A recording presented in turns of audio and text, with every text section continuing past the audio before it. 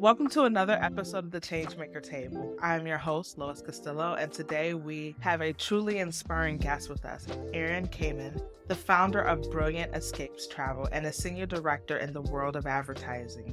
Erin, welcome to the show. Thank you for sitting down at the table with us. Thank you for bringing me to the table, Lois.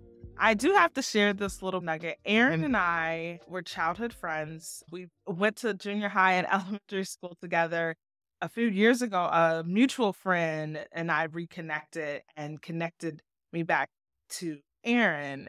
And what is so beautiful is that all three of us from Homewood, Illinois, got to give a shout out, are all in advertising. And for me, that is just such an interesting revelation of young folks, of how you reconnect with folks who are creating a difference, who come from the same community that just has this impactful drive to create change in the world. And I'm so happy when we reconnected. I just knew I had to have you on the show to share your story and your journey and to find out that we're in the same industry and have been for so long. And this industry to bring us back together is just so important. We have a lot to talk about today, so I want to jump right yeah. in it. And Erin, please start off by introducing yourself and share a little bit about this wonderful journey and your background. Absolutely. So, you already did a great job of introducing me. So, Erin Camin. I I currently live in Atlanta, Georgia, and I work as a senior director uh, for an ad tech company, as well as uh, I'm the founder of uh, Brilliant Escapes Travel. Uh, so I'm doing those both, which sometimes can be challenging to juggle. My background has primarily been in advertising. So, you know, as you mentioned, Lois, we've, we've both been in the industry for a while. And I started out in Chicago, spent a few years working there before I made the move to New York. Spent 10 years in New York in advertising. And then COVID happened and it was time for me to get out of New York. So the time to leave was coming. And then when COVID happened, it really pushed me out. And I made the decision to to move to Atlanta, even though I knew a handful of people here and had really no idea what I was going to get myself into. I didn't even see the house I was renting until the day I moved in. So moving in the middle of a global pandemic is a bit challenging, um, but it's probably one of the best decisions I've ever made.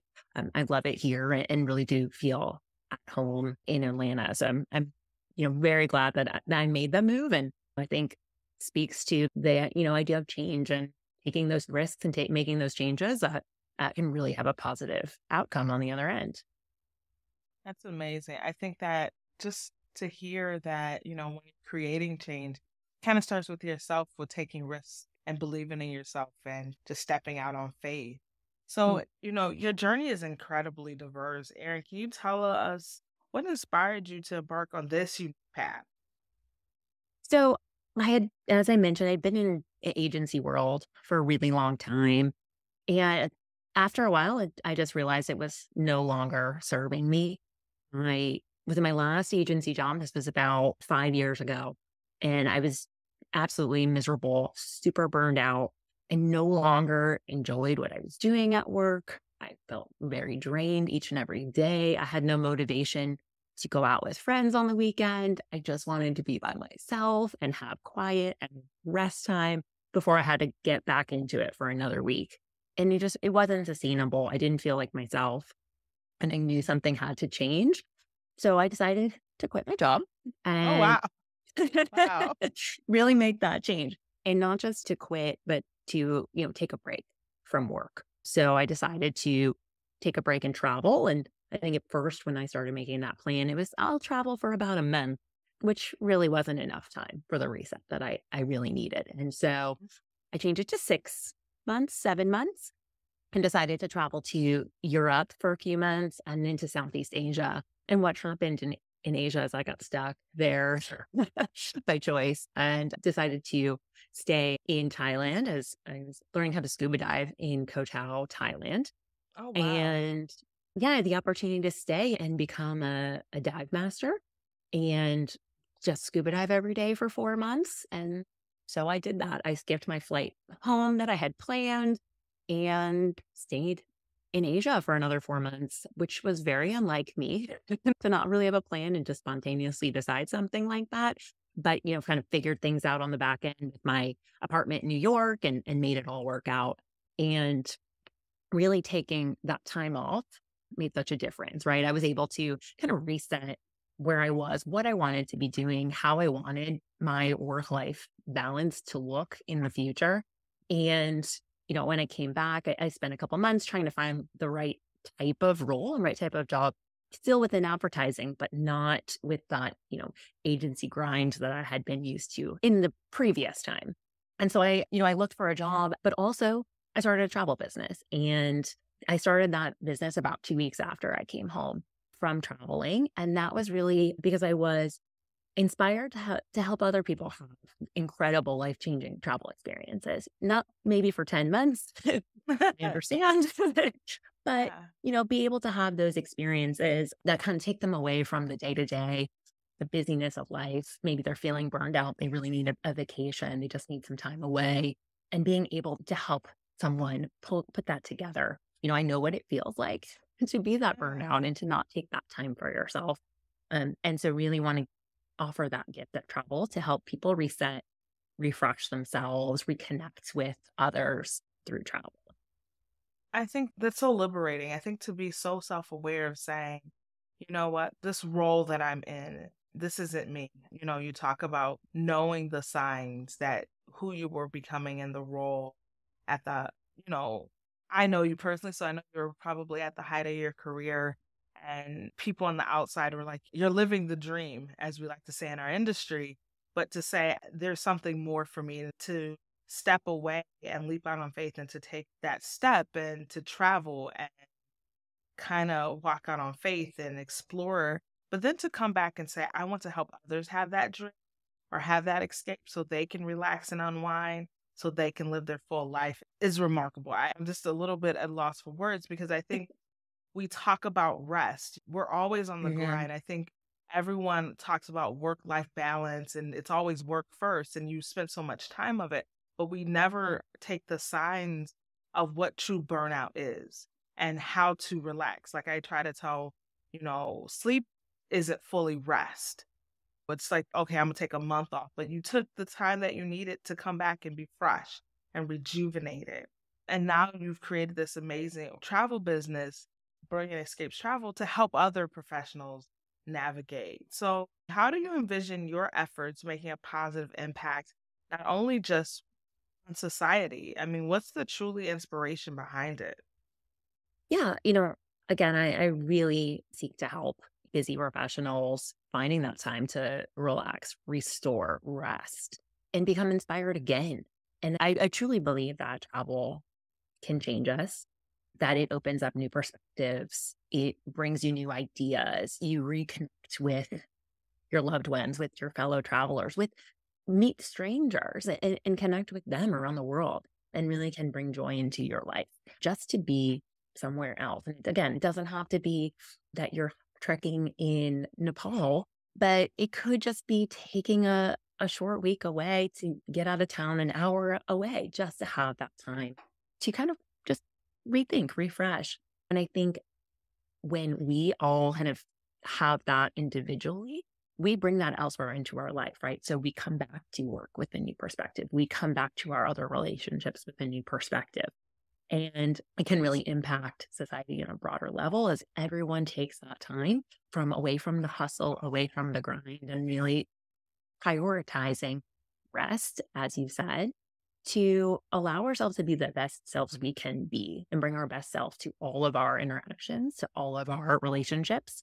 Um, and so I think that is certainly a part of it. The other piece of that is travel comes with its downside, has an impact, can have a positive and negative impact on the world we live in. And I think also looking for part travel partners that I can work with that I can bring to my clients that really focus on a more sustainable way of traveling that give back to local communities. So there's another piece of not only just for yourself, you're taking that time, but there's also ways that you can be really mindful and conscious while you're traveling. And that's something that I can help my clients do as well. Oh, that's amazing. I love that. We talk about sustainability. So the fact that you partner with organizations and travel It's being intentional, as you said, Mhm. and and being thoughtful and it's it's a win-win for the local community that you're in the areas that we you travel, giving back to that community, creating new perspective, but also being conscious of the world we live in and being good citizens of the world we live in. Absolutely. So it's evident this journey, this 15, is it 10? I'm trying to get, I'm like, Yeah, so, so It was 10, 10 months traveling. So 10 okay. months sort of on the road, and then about 15 months total that it wasn't working. So kind of on the front end and the back end and looking for a job for a couple of months when I came back. Yes. I, I'm, I'm jealous. I, I wish I could. I'm like, I'm counting to the day the youngest goes to college. I can be like, yes. "Uh, we're dropping you off and we're getting on a 10 month cruise. I mean, the Figure out. first part of it, the first like, you know, nine months or so was great. And the, the last few months were tough because I came back to New York and I'm like, I gotta pay my bills and I don't have a job and I spent all this money traveling around the world. So, you know, that was that was the more challenging part, but it was also a lot of time I got to, you know, really spend time working on my business, which was great. And you know, I was trying not to leave my apartment so I wouldn't just spend money. So it was like, well, stay home and just focus on, on working on this and, and also working on finding the right job opportunity that would really afford me the balance that I was looking for, give me time to work on my business, but also help me pay my bills and use the skills that I've had from working in advertising for so long to, you know, kind of and I'm not exactly a brand new in some of the other episodes you're talking about like bridge roles and things like that. This was really sort of like I need to keep the lights on, get money again and pay some bills. But it's also really afforded me a great balance. They allowed me to work fully remote when I moved to Atlanta. And it's been a great environment to work in while I also try to stand up uh, and build out my travel business. That's amazing. And I think as a, you know, being in the advertising industry, I think you you love this work. I think there's a piece of it that you love advertising. I, I think I'm assuming most people it's stressful, it can burn out, but when you find the right role and the right organization, the right culture for you, you can do both very successfully. Mm-hmm. And I and I'm just so happy that you found that balance for you. I, I think about, you know, I just so the audience and, and the listeners can get a time frame. You traveled pre-COVID, right? You weren't Yes. traveling. Okay. And Yes. then you came you came back because you moved to Atlanta right Yeah. bef- you came back right before COVID, correct?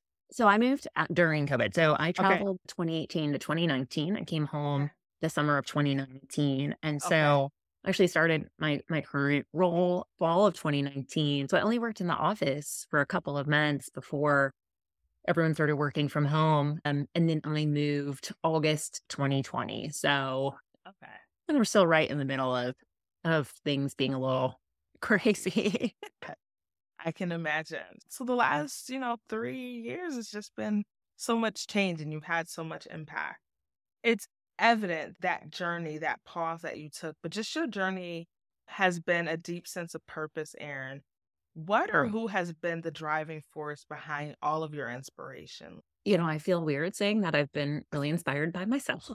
That's a no. That is a hey. I we don't give ourselves enough credit. So I'm glad that you are. Claiming your credit.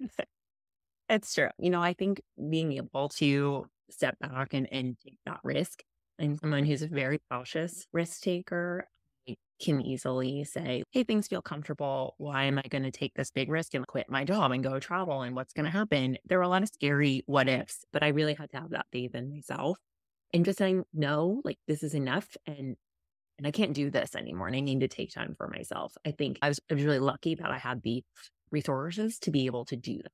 But that was something that I had done. I'd worked really hard. I'd saved money and then made it so I could give myself the gift of time and, invest in taking the time away.